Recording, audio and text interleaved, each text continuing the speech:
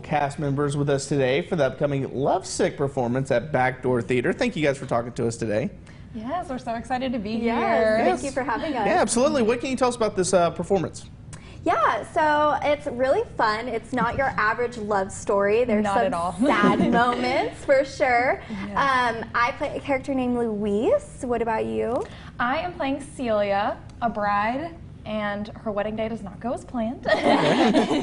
Yeah. And I love how it's an unromantic comedy. It's different Oh, than the yeah. romantic comedy. yeah, it's yeah, it does not show your typical, you know, fairy tale endings. It shows the highs, the lows, and everything you normally don't see in a relationship um, in a normal play. It definitely surprises you too. You go in thinking one Yeah. thing, and then by the end, you're like, oh, Yeah. my bad. Yeah. Yeah.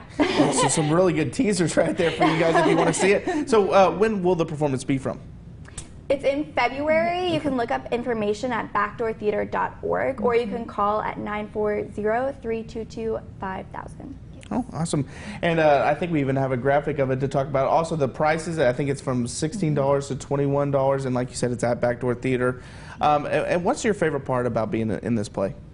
I like meeting new people. This is my first time meeting Riley, so it's bringing people together, which is really great. Um, Yeah. This is my first play at Backdoor, so I was just so excited to see what this community theater was about, and it's just such a great group of people. Yeah, and I think you guys have, I think Backdoor has like six performances all year. What would you say to people that may be wanting to be a part of a, a play about, but they're not sure if they should do it or not? Oh, audition, risk it. Go for it. Yeah, It's yeah. just so much fun, and you just learn so much. and they've got some really good shows coming up. Absolutely, guys. Thank you so much. And like you, like I said, right there is the graphic, 7:30, February 11th through the 26th. Thanks again so much. We got more news after the break.